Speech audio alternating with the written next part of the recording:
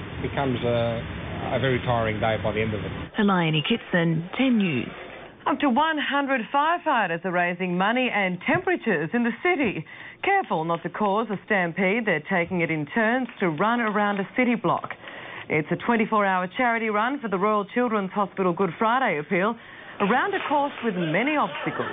The hardest part about it is dodging all the pedestrians. Obviously, we don't want to cause anybody any accidents, but uh, yeah, it's always good fun, this, this type of event.